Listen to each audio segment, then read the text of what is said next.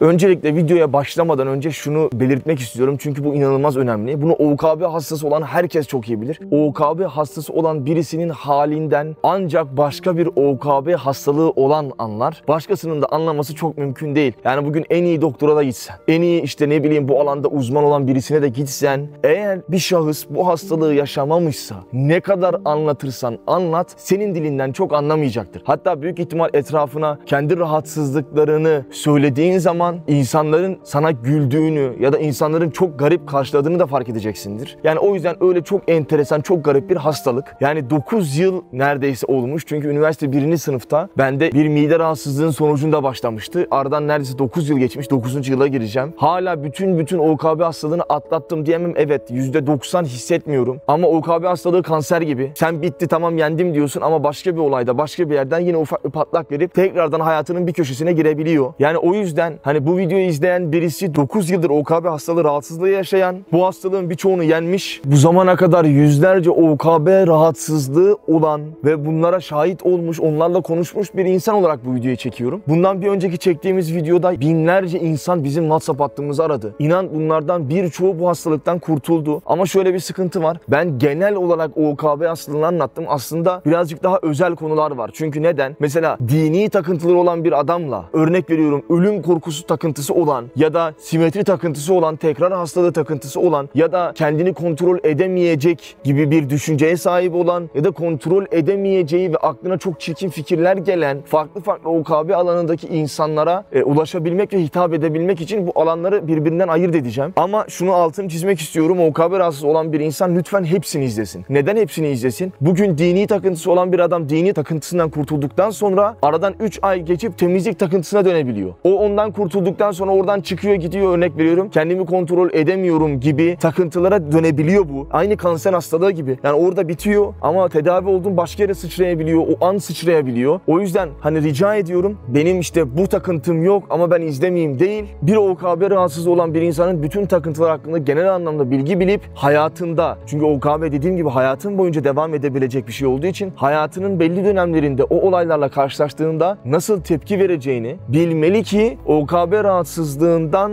tam anlamıyla vücudundan böyle bir hani atabilsin. Yani tam anlamıyla atamasa da hiç yok. Yani %90-95 o eski rahatsızlıklarından kurtulabilsin. Yoksa sadece bir meseleyi dinleyip bir ay 3 yıl geçtikten sonra yeniden başka bir yerden bu hastalık patlak verebiliyor. Şimdi OKB nedir?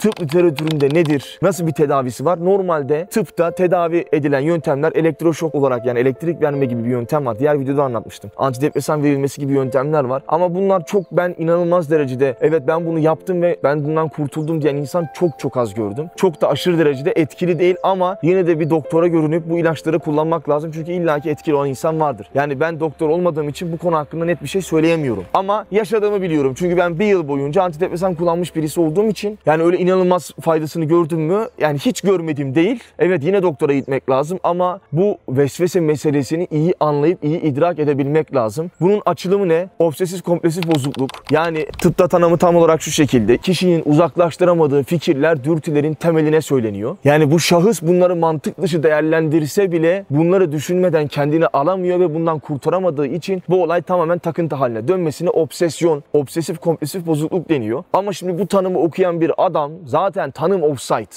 Yani bu tanımı kim yaptı bilmiyorum. Ama bu tanımı oraya kim koyduysa ben şuna yüzde yüz inanıyorum. Yani bu tanımı okuyan bir OKB rahatsız olan bir insan bu tanımdan dolayı OKB'si daha da artacak. Çünkü zannedecek ki bu fikirler kendinden. Yani bunları düşünmekten alıkoyamıyor. Aklına fikirler geliyor. Mantıksız da olsa düşünüyor. Şimdi acaba bu fikirler onun mu? Yani bu fikirlere mantıksız diyoruz ama bunlar şahsın fikri mi? Başkasının fikri mi? Bu meseleleri tam idrak edemeden bunu okuyan bir adamın OKB rahatsızlığı 1 ise 2'ye artıyor. Çünkü zaten tanım başından sonuna yanlış. Yani bu tanım tıp literatüründe yanlış bir tanım. Net söyleyebiliyorum. Bunu söylerken de OKB rahatsız olan birisi olarak söylüyorum bunu. Çünkü ben bu tanımı okuduğumda sanki bunları ben düşünüyormuşum gibi bana bir rahatsızlık hissi veriyor. Öncelikle şunu bilsin OKB rahatsız olan insanlar. Her kimse bu insan ve nasıl bir OKB rahatsızlığı varsa dini takıntı geliyor ben kafirim diyen, sürekli kelime-i şehadet getiren, sürekli rakam sayan, kendi isteği haricinde farkında olmadan gayri ihtiyari annesiyle, kız kardeşiyle, akrabalarıyla cinsel anlamda bazı fotoğraflar, bazı fikirler gelen, kendini eşcinsel düşünen ve eşcinsel fikri gelen, çünkü bunlar yani bitmeyecek bir şey. Ya da sürekli birisini öldürecekmiş gibi hisseden her kim nasıl bir birey varsa ya da kendi çocuğunu sürekli öldürecekmiş hissi gelen yani inanılmaz fikirler var. Dersin ki bu kadar da mı vesvese geliyor? Evet bu kadar vesvese gelebiliyor ve şunu söyleyeceğim. Önce şunu bilmeleri gerekiyor. Bir gün bir tane bir abla beni aramıştı. Yaşı büyük bir abla ama inanılmaz ağlıyor. Yani böyle bir ağlamak yok. Ben hayatım kadar ağlayan bu hıçkıra hıçkıra. Konuştum biraz. Neyden dolayı biliyor musun? Bu ağlaması ve kendini tutamaması. Sürekli bebeğini camdan aşağı atma fikri geldiği için bu fikre katlanamayıp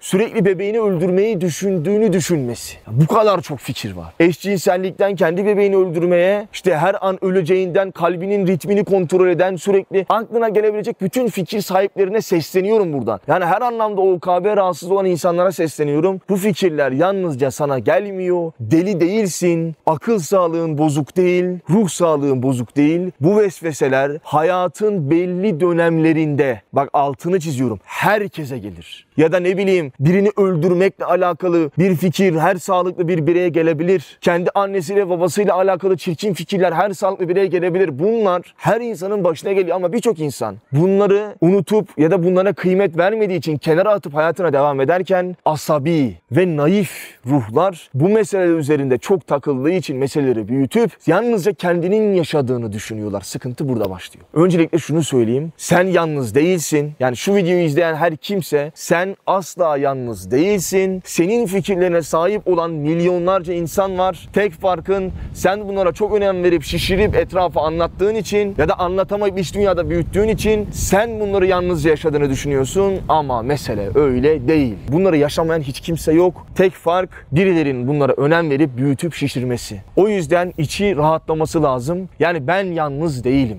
Ben ruh hastası değilmişim. Ben manyak değilmişim. Ben sapık değilmişim. Ben hasta değilmişim. Bu fikirler her bireye gidiyormuş. Önce bunu anlamaları lazım. Bu inanılmaz önemli. Bunu anlamadan kendini yalnız olduğunu düşünüp sürekli kendini ruh hastası moduna koyuyor. Yani o bir kenarda ve bir ruh hastası. O yüzden şunu anlamak lazım. Yine altını çiziyorum yalnız değilsin. Yani bir de bunun haricinde de bu anlattığım şeyin haricinde de benim gördüğüm vesvese en iyi çözümü ateist olsun deist olsun bu videoyu açmış olabilir. Agnostik olabilir, nihilist olabilir, septik olabilir, inanmıyor olabilir, Hristiyan olabilir, Yahudi olabilir. Fark etmiyor. Yani çünkü bazen bir insan Hristiyandan bir şey öğrenemez mi? Öğrenebilir. İlim kimdeyse ondan öğrenin diyor. Adamın mobilya ile alakalı ilmi vardır. Mobilya işini ondan öğrenebilirsin. Yani ilim kimdeyse ondan o işi öğrenmekte bir problem yok. Allah da zaten ayette ne diyor? Bir bilmiyorsan bir bilene sor diyor. Şimdi o yüzden İslam bu konuda bu meseleyi çözen tek din, tek fikir. Diğerleri sair dinler, sair ilim adamları, bilim adamları bu mesele hakkında çok fazla fikir öne sürmüşler ama fikirlerin çok fazla tutarlı yanı yok. Peki İslamiyet'in anlattığı fikir ne? İslamiyet diyor ki insanın kalbinde iki odacık var. Tabii farklı odacıklar da var temel olarak anlatıyor. Bir, şeytanın bulunduğu ve sürekli sana oradan lümme-i şeytaniye dediğimiz oradan sürekli konuşup sana fikir verdiği yer. Bir de meleklerin konuştuğu o da lümme-i melekiye mi denir artık? Lümme-i melek mi denir? Yani meleklerin sürekli konuştuğu yer. Bu iki yer kalbin odacıklarında bulunuyor ve bize buradan sürekli fikirler geliyor. Bunları ayırt edebilirsek, hangi fikrin kime ait olduğunu anlayabilirsek vesvese meselesinden kurtulabiliriz. Yani bu videoyu açan Hristiyan birisi ise de yani İslamiyet'e inanmadan bile bu hastalıktan İslamiyet'ten aldığı reçeteyle kurtulabilir. Yahudi kurtulabilir, ateist kurtulabilir. Yani bence Müslüman olması lazım ama yani Müslüman olmasa bile bir Müslümandan ya da bir İslam inancından bir şey öğrenip hayatına tatbik edip bu ondan kurtulamayacağı anlamına gelmiyor. O yüzden videoyu açan ve sair dinlere inanan insanlar da aslında yine buradan İslamiyet'in hak olduğunu ulaşabilirler ama eğer öyle olmasa bile bu meseleyi kullanarak yani Allah'tan şifa bulabilirler.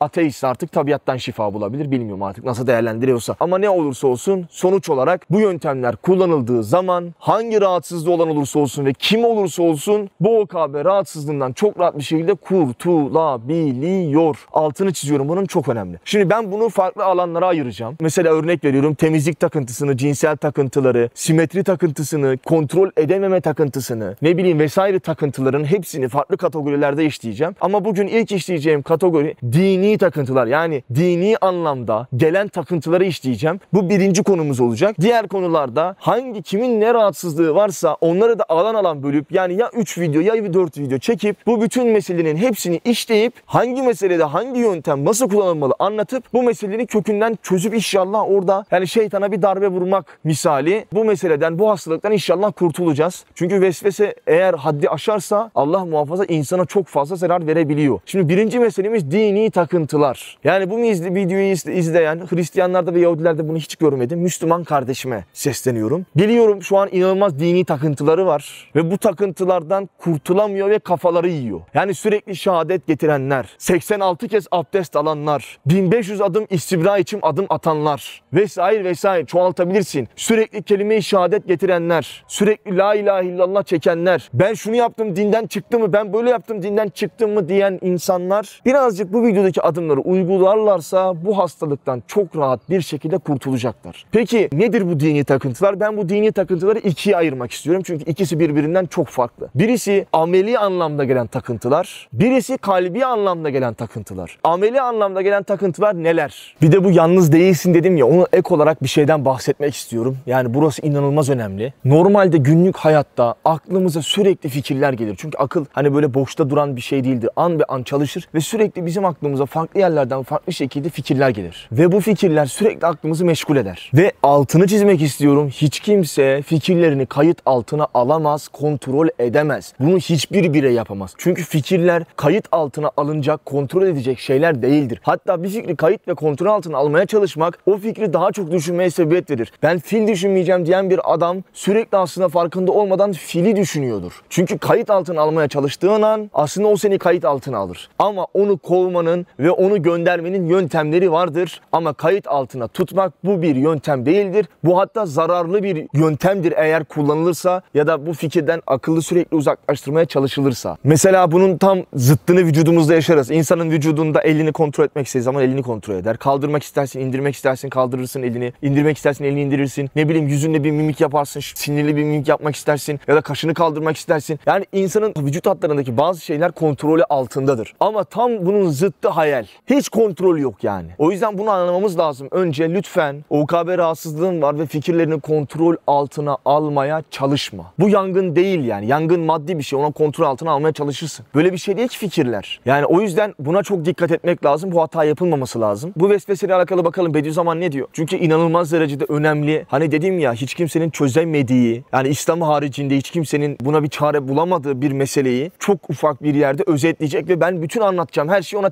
temellendirerek anlatacağım. Öncelikle onu okumak istiyorum. Ey marazı vesvese ile müptela. Biliyor musun vesvesen neye benzer? Musibete benzer. Ehemmiyet verdikçe şişer, ehemmiyet vermezsen söner. Ona büyük nazarıyla baksan büyür, küçük görsen küçülür, korksan ağırlaşır hasta eder, haf etmezsen hafif olur mahfi kalır, mahiyetini bilmezsen devam eder, yerleşir, mahiyetini bilsen onu tanısan gider. Öyle ise şu musibetli vesvesenin aksamı kesiresinden kesirül vuku olan yalnız beş veçhini beyan edeceğim. Belki sana ve bana şifa olur. Zira şu vesvese öyle bir şeydir ki cehil onu davet eder, ilim onu tard eder. Tanımazsan gelir, tanısan gider. Şimdi burada biz bütün yöntemleri aldık. Ben bunların hepsini tek tek açıklayacağım. Ve hangi vesvesede, hangi yöntem önce kullanılacak, sonra sırasıyla hangi yöntemler kullanılacak bunların hepsini aktaracağım. O yüzden çok iyi dinlemek lazım. Şimdi bizim ilk bugün işleyeceğimiz konumuz dini vesveseler, dini takıntılar. Ebedi hayatı etkilediği için birinci konuya bunu almak istedim. Ama ne olursa olsun yine de başka takıntıları olanlar da bu takıntıyı izlemesi lazım. Çünkü bugün sen de bu OKB metastas yapıp dini takıntılara geçebilir ki geçmesin diye sen eğer bunları bilirsen senin için çok daha faydalı olacaktır. Şimdi dini takıntıları ben ikiye ayıracağım ama ayırmadan önce dört madde var. Yani rica ediyorum bu dört maddeyi ne yaparlarsa yapsınlar, allasınlar, pullasınlar ya telefonlarına, ya bilgisayarlarına, ya tabletlerine ya hatta bence küçük bir not kağıdına yazıp sürekli cebinde ya da herhangi bir yerde taşımaları lazım. O kadar kıymetli dört madde. Daha demin okuduğum paragraftan çıkartacağım. Birinci madde önem verirsen şişer, önem vermezsen söner. Bu birinci madde. İkinci madde küçük görürsen küçülür, büyük görürsen büyür. Üçüncü madde korkmazsan gizli kalır, korkarsan seni mahveder ağırlaşır. Mahiyetini bilirsen, onu tanırsan gider, mahiyetini bilmezsen devam eder yerleşir. Bu dört altın madde. Lütfen rica ediyorum not defterine mi yazıyorsunuz bir şeye yazın her gün. Bak aralıksız. Bu bizim altın kuralımız. Bu dört kuralı iyi anlayıp yerinde uygularsak OKB'den Allah'ın izniyle kurtulmamamız için hiçbir sebep yok. Şimdi gelelim dini takıntılara ikiye ayrılacak, ayıracağız demiştik. Birincisi ameli takıntılar, ikincisi kalbi takıntılar. Ameli takıntılar ne? Bizim amel anlamında yaptığımız bazı ibadetlerimiz var. Bunlar bizler için farz. Bazı sünnetler de var, bazı vacipler de var. Bunları da sürekli yapıyoruz. Bunlar hayatımızın hep yerinde bir Müslümanın. Mesela ne? Namaz kılmak, oruç tutmak, hacca gitmek, zekat vermek, kelime-i şehadet getirmek. Bunlar bizim fiili olarak sürekli yaptığımız ve tekrarladığımız şeyler. Mesela bir adam oruç tutmaya başladığı zaman ya orucumuz bozuldu mu bozulmadı mı? Bu takıntıya dönebiliyor. Benim orucum bozuldu, hayır bozulmadı mı? Sürekli bir vesvese hali. Örnek veriyorum namaz inanılmaz yani. Hele namaza yeni başlayan bir adam Allah'ım ya Rabbim zannediyor ki bir tek kendi yaşıyor. Herkesin yaşadığı bazı sıkıntılara uğruyor. Sürekli mesela namazda ben iki rekatta mıyım, üç rekatta mıyım, dörtte miyim, birde miyim, neredeyim, tayyatta mıyım, oturdum mu, oturmadım mı, nasıl yaptım gibi binlerce vesvese gelebiliyor. Onun haricinde abdestte inanılmaz derecede vesvese gelebiliyor. Abdestim oldu mu olmadı mı? Adam 70 kere 80 kere abdest alıyor. Adam istibra 3000 adım istibra atıyor ya. Adam bir yürümeye başlıyor bir de adam bulamıyorsun. Yani o kadar çok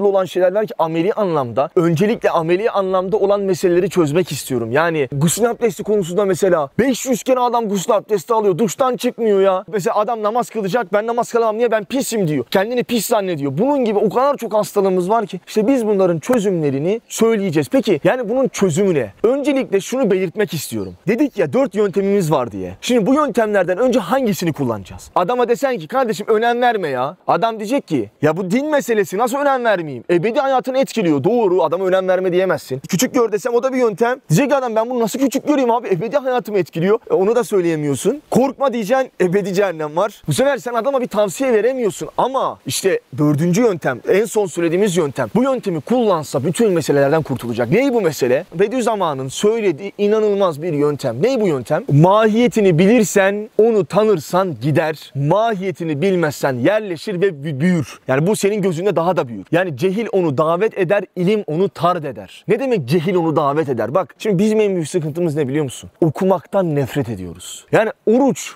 ya 1400 yıldır farz. Ya namaz 1400 yıldır farz. Bizim fıkıh dediğimiz şey yüzyıllardır biliyoruz biz. Yani açıp kitaba baksa bitecek vesvesesi. Bakmıyor ama. Hastayız çünkü bu konuda. Diyor ki adam abi ya ben diyor tükürüğümü yuttum oruç bozuldu mu? Ya vallahi yüzyıllardır bak bu biliniyor. Ben şunu da anlamıyorum. Hala televizyon programlarında her sene Ramazan ayında hocam bu orucu bozar mı? Ya deliriyorum ya. Diş macunu yuttum orucum bozulur mu? Vallahi fıkıh kitaplarında bunların hepsi yazıyor. Ama bakmıyoruz. Nasıl bir şey anlamıyorum. Bakmıyoruz diyor ki orucum bozuldu mu bozulmadı mı? Ulan diş macunu yuttum yutmadım bozuldu bozulmadı. Artık o kadar şişiriyor şişiriyor şişiriyor artık takıntı haline geliyor. Adam dişini fırçalıyor oruçtan önce fırçalıyor düşün. Dişini fırçalıyor ağzına tadı kalıyor orucum bozuldu mu bozulmadı mı? Hastalık seviyesine geliyor. Namaz meselesinde 2'de miydim 3'te miydim 80 kere namazını iade ediyor. Ya insanı harama sokar Allah muhafaza. Ya ne yapacaksın? Ya bunun fıkhı belli. Mesela namaz kılıyorsun. Adam diyor ki 3'te miyim 4'te miyim ne yapayım? Sürekli namazını iade ediyor unutuyor sürekli iade ediyor. Önce şunu söyleyeyim. Bu bir kere mahsus olmuşsa ben şu an fıkıh bilgisi söylüyorum. Tekrar edeceksin. Yeniden kılacaksın namazını. Ama bu sende artık vesvese haline gelmiş. Ve sen bunu sürekli yapıyorsan ne yapacaksın? Çok basit bir yöntem var ya. En az olanı sayacaksın. 3'te miyim 4'te miyim? 3'te miyim 4'te miyim diye düşünüyorsa bu adam ya kesin 3'te ama 4'te de olabilir düşünüyor. O zaman 3'ü baz alacaksın. 3'e göre namazını kılıp devam ettireceksin. Namazını o şekilde bitireceksin. Bak fıkıh bitti. Yani 80 kere namazını tekrar iade etmenin bir anlamı yok. Gusül abdesti meselesi. Şimdi tabir şey ya orada bir deyim var. İğne ucu kalmayacak kadar boş. Ya o şu demek değil yani. Bütün bedeninin iğne ucu kadar ıslatmak. Evet bedeninin her yerini ıslat ama insan şunu kontrol edemez mi? Olan sığını, sırtında acaba iğne ucu kadar yer kaldı mı? Adam sırtını şey yapıyor ya. O ne, ne deniyor ona artık? Sırt kaşıma şeyiyle kaşır gibi adam su şeyiyle sırtına vuruyor. Yani tamam evet yıka sırtını dikkatli ol. Çok güzel bunlar. Gusül abdesti mi oldu mu olmadı mı? Sen normal anlamda bir Müslüman olarak elinden geldiğince bütün azalarını yıkamaya çalışacaksın. Çıktın. Mesela bir yeri kuru gördün. Ne yapacaksın Emir sen söyle. Kolun kuru kalmış çıktın ne yapacaksın? O an orayı da ıslatırım herhalde. Ya gideceksin lavaboya açacaksın bak fıkıh bilgisi. Alacaksın, süreceksin buraya bitti gusül abdesti. Bu kadar basit. Yani kuruk olan yere aldın suyu, verdin bitti. Yani gusülde mesela 3 kere ağzı 3 kere buruna vermeyi unutmuş. Ya tamam sonrasında tekrar bir saat sonra mesela bir saat sonra aklına geldi. Sonrasında verebiliyorsun. Yani bunun gibi dinde inanılmaz kolaylıklar var. Ameli anlamda gelen vesveseler tutulmamızın tek sebebi bilmememiz. Okumuyoruz. Bir tane fıkıh kitabı okumuyoruz. Açıp araştırmıyoruz da. Sonra o sabah akşam onu düşünüyorsun düşünüyorsun. Sonra OKB oluyor adam. Dinde takıntılı oluyor. Olursun tabii. Niye açıp oku? okusan bitecek. Bir de bu vesvesenin güzel yanı okudun ya bir daha vesvese gelmez. Ama amasını sonunda söyleyeceğim. Bazen geliyor. Çünkü orada ene var ene. Benlik. Benlikten dolayı bazen kaybediyoruz. Ya dinde boş kalan bir alan yok. Yani ameli anlamda yapman gereken tek şey açacaksın, okuyacaksın, öğreneceksin. Gusül abdestle alakalı kafana bir şey mi takıldı? Vesvese mi oluyor? Ya git Google'a yaz. Mi? Sorularla İslamiyet var. Aç oradan. Araştırmanı yap. Fıkıh kitabı al bir tane. Fıkıh kitabından bak. Hangi mezhepsen ona göre fıkıh kitabını al bak. Bu kadar bitti bit. Bütün vesvese kurtulacak vesveseden. Diyor ki adam mesela ya benim namazım kabul oldu mu olmadı mı? Niye? Benim üstümdeki necis. Ya da adam mesela çamurlu işten gelmiş. Üstü bası çamur. Çamur necis mi? Değil. Adam diyor ki ben pisim namaz kılamam. Kime göre pis yani? Neye göre pis? Şunu anlamamız lazım. Bir şeyin pis yere temiz kararını şeriat verir. Allah verir. Adam kafasına göre ben pisim namaz kılamam diyor. İşte bunlar hep cehilden geliyor. İlmi olan hangi mezhepteyse o mezhebe sahip olan ve o mezhebin genel kurallarını bilen birazcık fıkhını okuyan bir adama ameli anlamda vesvese gelmez. Gelmez ya çok basit. Niye gelsin ki? Biliyor adam nerede ne yapacağını. Dinde boşluk bir yer yok ki. Hani acaba böyle yapsam acaba bunun ya bu 1400 yıllık bir din ya. Senin gibi milyonlarca insan geldi geçti. Bir de bu vesveseler şimdilik vesveseler değil ha 500 yıl önce de açıp bakınca bu vesveselere düşüp adam 80 kere abdest alıyor. Abdestim olmadı diyor. Ya sen neye göre olmadı diyorsun. Abdestin zaten farzı belli. Ne? Yüz, kol, baş, ayak. Adam örnek veriyorum kulaklarının içini 85 kere girmedi diye. Ya zaten farz değil. Yani bilmiyoruz. Yani dinimizi tanımıyoruz. Tanımadığımız için de şeytan boş kalmayıp sürekli bilmediğimiz yerden vesvese girip ameli anlamda bizi takıntılı hale getiriyor. O yüzden lütfen gusül abdesti özellikle bu meselede. Abi diyor kendimi pis hissediyorum. Ya senin pis hissetmem seni pis yapmıyor ki. Ya ben mesela örnek kendimi ördek gibi hissediyorum. Şurada ördek gibi yüzebilir miyim? Yüzemem. Yani birinin bir şey bir şey hissetmesi o onu yapmıyor öyle ya. Böyle bir mantık var mı? Ben abi günde diyor 20 kere gusül abdesti alıyorum. Niye? Pis hissediyorum kendimi. Allah Allah. Ya neye göre pis ya? Pisi temize Allah karar verir. O yüzden ameli takıntıların çözümü, cehil onu davet eder, ilim onu tard eder. Mahiyetini bileceksin, ilimin öğreneceksin, ameli anlamdaki vesveselerden kurtulacaksın. Yani diyorsa ki ben ameli anlamda takıntım var, net bir şey cehaletten. Açıp 3 sayfa bir şey okuyup dinimizi öğrenmiyoruz. Öğrenmediğimiz dininden de şeytan gece gündüz bizi vuruyor. Burası ameli. Lütfen ameli anlamda olanlar internete yazabilirler, fıkıh kitabı okuyabilirler. Bunları yaparlarsa bütün problemleri çözülecektir. Ve vesveseden hani nasıl bıçak böyle eti keser atarsın ya mesela et vardır sallanır. Bıçağı vurur keser atarsın. Aynı öyle birazcık fıkıh bildi mi bu anlamda takıntısı olan insanlar aynı o bıçağın eti kesmesi gibi kesecek atacak kurtulacak. Sadece tek yapması gereken bir şey var. Bunu öğrenmesi lazım. Vesvese yapma. Aç bir fıkıh kitabı oku ya da bilmiyorsan bir bilene sor. Bu işi bilene ama altını çiziyorum. Fıkıh bilene. Şimdi ikinci mesele kalbi vesveseler. Yani ameli değil de olayın kalp kısmında gelen vesveseler. Mesela namaza durdu. Bunu her namaza başlayan bak her namaza başlayan insanlardan, insanlıktan, namaz kılan insanlığın hepsini vur. %90'ı bu vesvese yaşamıştır. Allah'a peygambere küfür. Müstehcen görüntüler, rahatsızlık verici fikirler. Yani normal hayatta aklına gelmeyecek iğrenç fikirlerin gelmesi. Bunlar ne? Kalbi vesveseler. Onun haricinde ne? Sürekli kalbe şüphe geliyormuş gibi hissettirip dinden çıkıldığının düşünülmesi. Sürekli kelimeyi şehadet getirmek. Öncelikle şunu işlemek istiyorum. Namazda Allah'a ve peygambere gelen küfürler. Yani bu niye oluyor? Şundan dolayı bir insan namaza başladı ya çok hayırlı bir iş. Şeytan kuduruyor. Diyor ki ben bunu bir şekilde namazdan kopartayım. Bir şekilde namazdan uzaklaştırayım. Ne yapmam lazım? Bakıyor ki sende de çok Allah sevgisi var. Çok peygamber sevgisi var. Haşa Allah'a ve peygambere ağza alınmayacak küfürler söylemeye başlıyor. Şimdi mesela Bediüzzaman Hazretleri bununla alakalı ne diyor bir bakalım. Bak diyor ey bir çare vesveseli adam. Bize sesleniyor. Bu meseleyi bak söylüyorum yalnız değil bu videoyu izleyen. Bu küfürler bir tek ona gelmedi. Telaş etme. Çünkü senin hatırına gelen şetim değil. Belki tahayyüldür. Yani senin hatırına gelen şetim değilmiş, küfür değilmiş. Belki hayalmiş.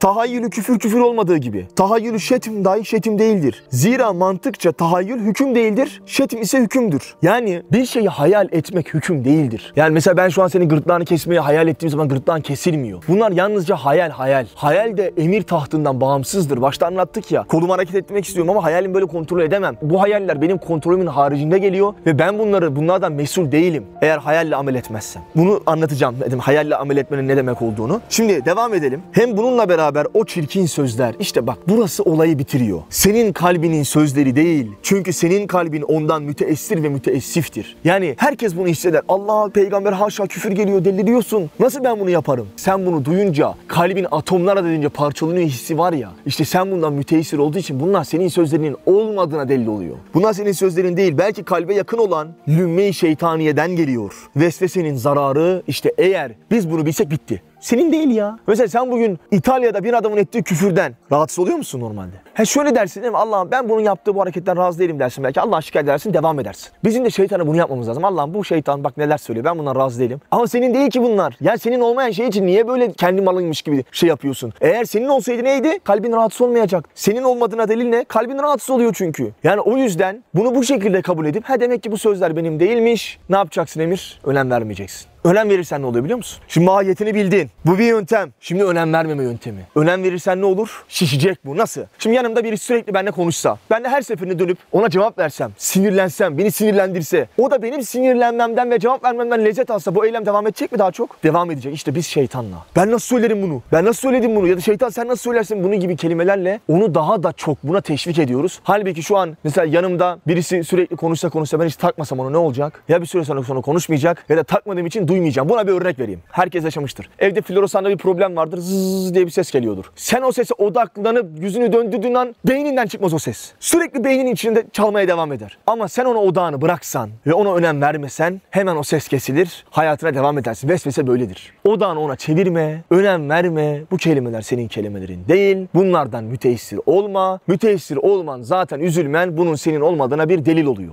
Devamında da bak ne diyor? Belki kalbe yakın olan zümme-i şeytaniyeden geliyor. Vesvesenin zararı tevehhüm zarardır. Eğer sen bunu zararlı görürsen vesvese zarar verir. O yüzden zararsız görüp bu meseleden kurtulmak lazım. İkinci olarak da namazda gelen müstehcen görüntüler. Ha yine söylüyorum hayal öyle enteresan bir şeydir ki. Mesela Emre şu an siyah dedim hayalinde ne canlanır ilk?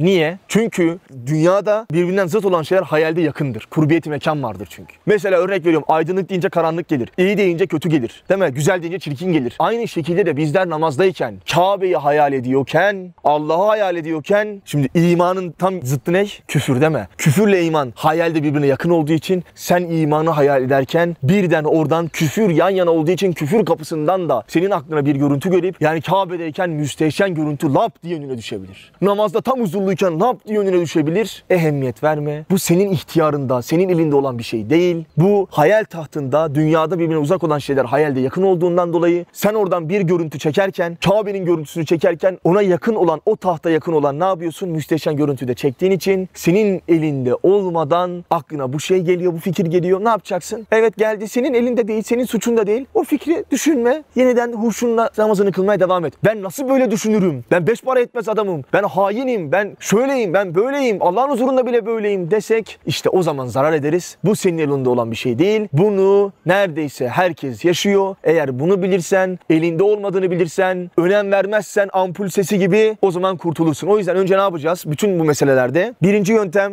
cehil onu davet eder, ilim onu tard eder. İkincisi ehemmiyet verirsen şişer, ehemmiyet vermezsen sonar. Önce öğreneceğiz, sonra önem vermeyeceğiz. Küçük göreceğiz. Küçük görürsek bu bizi rahatsız etmeyecek ve neticesinde de bunları yaptıktan sonra da en son artık zaten bunlardan korkmayacağın için tamamen vesveseden kurtulacaksın. Yani ilk kullanılması gereken yöntem bilmek, önem vermemek, küçük görmek, korkmamak. Zaten bu üçünü yaparsan dördüncüsünde korkmayacaksın. Çok rahat bir şekilde de bu vesveseden kurtulacaksın. Bunun yanında günlük hayatta gelen birçok vesvese var. Nasıl vesveseler var? Bunlar yine kalbi anlamda gelen vesveseler. Mesela sen birden yolda giderken işte bir sakat çocuk gördüğünde o sakat çocuğun niye öyle olduğuyla alakalı aklına bir fikir gelebilir. Ya da günlük hayatta aklına binlerce fikir gelebilir.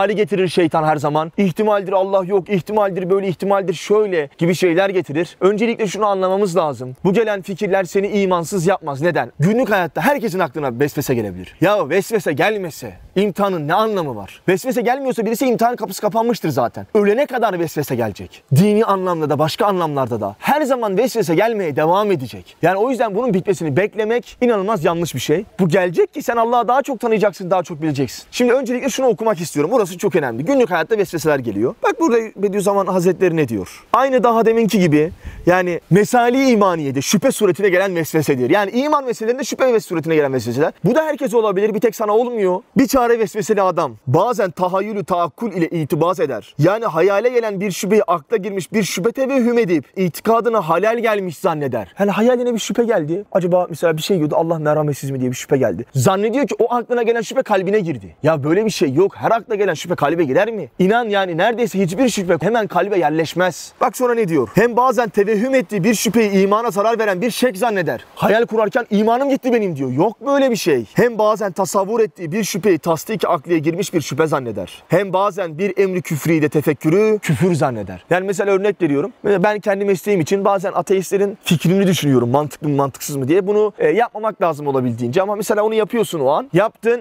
Onu düşün, düşündüğü zaman diyor ki eyvah ben dinden çıktım. Böyle bir şey yok. Küfrü hayal etmek insanı dinden çıkarmaz. Bak bunlar fıkhi bilgiler. Ya yine bak neyden geliyor? Bilmek. Fıkı bilmeyen adam zannediyor ki aklına bir şüphe geldi. Hayır bitti gitti. Yine ilim onu tard edecek. Bilmemiz lazım. Fıkı bilmemiz lazım. Devam edelim. Yani dalaletin esbabını anlamak suretinde kuvve-i mütefekkirinin hayal gücünün cevelanını ve tetkikatını ve bir tarafane muhakemesini hilafı iman zanneder. İşte telkinatı şeytanın eseri olan şu zanlardan ürkerek eyvah kalbim bozulmuş, itikadıma halal gelmişler. O haller galiben ihtiyarsız olduğundan, cüz ihtiyarisiyle ıslah edemediğinden yese düşer. Bu yaranın merhemi şudur ki, tahayyülü küfür küfür olmadığı gibi, tevehhümü küfür dahi küfür değildir. Yani senin aklına gelen hiçbir vesvese seni küfre sokmaz. Senin aklına gelen hiçbir şüphe velev kalbine bile girse, sen ağzınla sarı bir şekilde dinden çıkmadıktan sonra, kalben dini terk etmedikten sonra seni dinden çıkartmaz. Yani bize mesela diyor, abi ben dinden çıktım. Niye? Abi benim aklıma küfürle alakalı bir şey geldi. Benim aklıma böyle vesvese geldi. Bak bunlar hep bilmemekten. Bunlar insanı dinden çıkartmazlar. Devam edelim. Çok önemli bir yer söyleyecek çünkü. Tasavvuru dalalet dalalet olmadığı gibi yani dalaleti, kötü fikirleri tasavvur etmek ya da akla gelmesi dalalet olmadığı gibi tefekkürü dalalet dahi dalalet değildir. Hem tahayyül, tevehhüm, tasavvur, tefekkür nasıl ki tasdik ve izan değiller. Yani mesela ben bir şey düşünüyorum. Örnek veriyorum Emir. Seni silahla vurulduğunu düşünüyorum. Benim senin silahla vurduğumu düşünmem bir hüküm mü? Sen silahla vuruluyor musun? Ya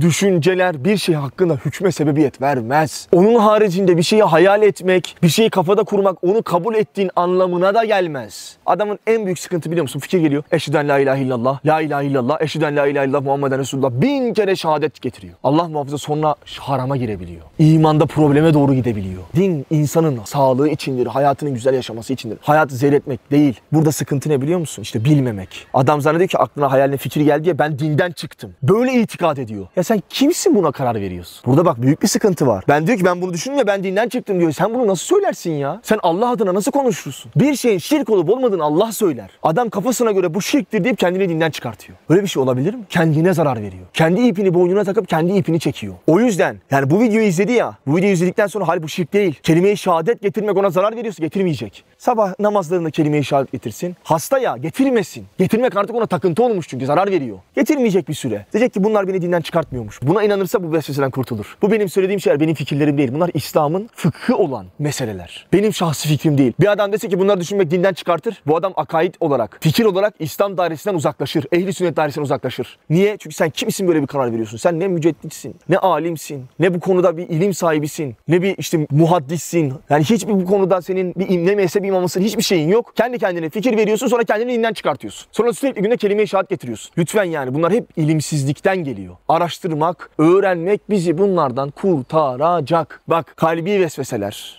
altını çiziyorum. Ve ameli anlamda gelen vesveseler, dini takıntıların neredeyse hepsi bilmemekten geliyor. İlimsizlikten geliyor. Sonra ilimsizliğin yanında önem veriyor, büyük görüyor, korkuyor. Şeytan alıyor onu oynuyor onunla. Halbuki bilse sonra bildikten sonra anlayacak ki zaten he bu böyleymiş önem vermese korkmasına gerek kalmayacak. Sonra da bütün vesveselerinden kurtulacak. Şimdi son olarak bu videoyu çektik ya Emir. Ben, ben olacağı söylüyorum. Bize hemen mesaj gelecek. Abi ben kurtulamadım. Yani bugün bir gripten kurtulmak iki hafta sürüyor. getiriyor. Yani bu vesvese rahatsızlıklardan kurtulmak böyle bir günde olacak şeyler değil. Sen bunu öğrene öğrene fıkıh öğreneceksin. Yavaş yavaş yavaş yavaş 2 ay, 3 ay, 4 ay süreçte bunları öğrendikten sonra kurtulacaksın. Ama genelde dini takıntılarda öğrendiğin an biter genel olarak. Ama bazılarında çok asabidir, çok evhamlıdır. Ama bunları öğrenirse yani hemen olmasa da süreçte çok rahat bir şekilde kurtulacak. Ama genelde dini takıntılardan kurtulmak hemen olur. Çünkü öğrendiğin an bunu bu biter senin için. Ama sonunda söyleyeceğim demiştim. Bizde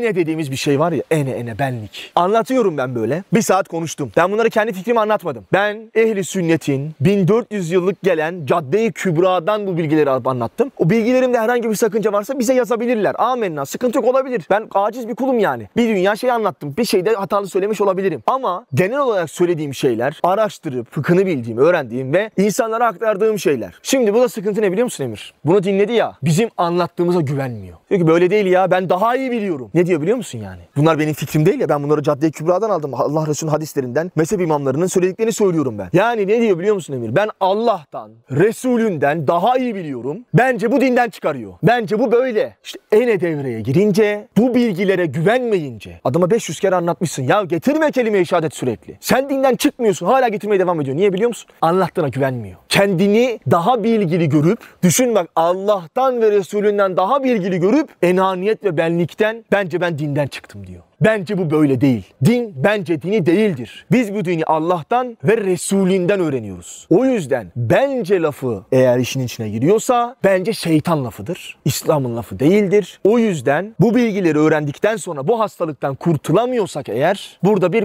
bence kelimesi yatabilir. Dikkat etmek lazım. Adam dinlemiş. Abdest meselesi ya. Farzı belli. Yapacaksın, geçeceksin. Yani mesela gusülde öyle bir şey var ki bir süre sonra mesela artık adam gusül alıyor alıyor alıyor kurtulamıyor bundan. Kuru kaldı ya bir yeri. Yine almayacaksın abdesti tekrar. Çünkü artık sende hastalık olmuş. Din sana burada izin veriyor. Düşün bak fıkıhta din bu kadar müsaade ediyor. Ama ona rağmen, din sana müsaade etmesine rağmen mezhep imamları Kur'an'ı inanılmaz derece hadislere uygun yorumlamalı, durumlayıp sana getirmelerine rağmen sen bu böyle değil. Benim bence gusül abdestim yok. Benim bence namazım olmadı diyorsan eğer buna benim yapacağım hiçbir şey yok. Bu tamamen enaniyet ve benlikle alakalı. Bu çok sıkıntılı bir durum. O yüzden bu hakikatleri öğrenip bir insan bu işin fıkhını bildikten sonra bu yöntemleri kullanırsa dini takıntılarından kurtulamama ihtimali Allah'ın izniyle yok. Son olarak rica ediyorum ibadetlerde problem. Çünkü bazen şey oluyor ibadette vesvese gelip ibadeti bırakıyor. Bu inanılmaz yanlış bir şey. Bazen doktorlar da bu tavsiyeyi veriyor. Böyle bir şey yok. Yani evet o ibadetten gelmez. Bugün yarın Allah sana öyle bir şeyden verir ki bin pişman olursun. Yani ibadetten geliyor diye ibadeti bırakmak. Yani şey gibi sen elmas bulmak için toprağa kazıyorsun. Topraktan yılan çıktı diye kazmayı bırakıyorsun. Halbuki ne yapacaksın? Yılandan kurtulmanın yöntemini alıp kazmaya devam etmen lazım.